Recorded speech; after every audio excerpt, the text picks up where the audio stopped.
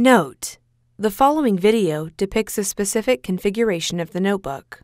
The same removal and replacement procedures apply to all configurations of the notebook.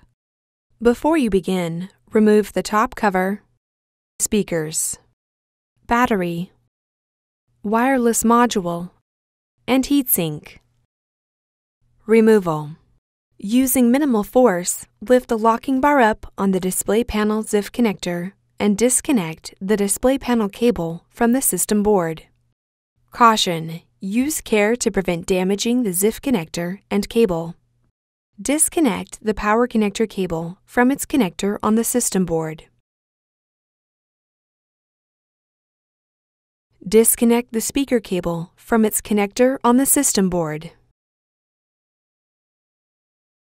Using minimal force, lift the locking bar up on the audio board ZIF connector and disconnect the audio board ribbon cable from the system board. Caution: Use care to prevent damaging the ZIF connector and ribbon cable. Remove the four 3mm P1 Phillips head screws that secure the system board to the base enclosure. Grasp the left edge of the system board and lift the system board off of its alignment pins on the base enclosure. At an angle, slide the external connectors out of the cutouts in the base enclosure and remove the system board. Replacement Tow the external connectors on the right side of the system board into the cutouts in the base enclosure and lower the system board onto its alignment pins. Caution! To avoid damage, ensure that all cables are free from being pinched between the system board and base enclosure.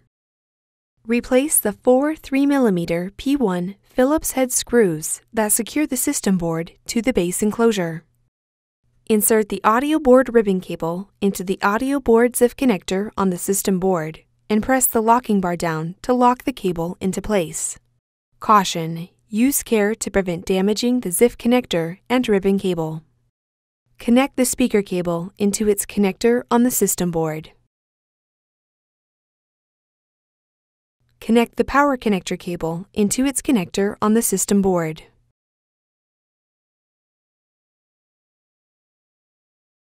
Insert the display panel ribbon cable into the display panel ZIF connector on the system board and press the locking bar down to lock the cable into place.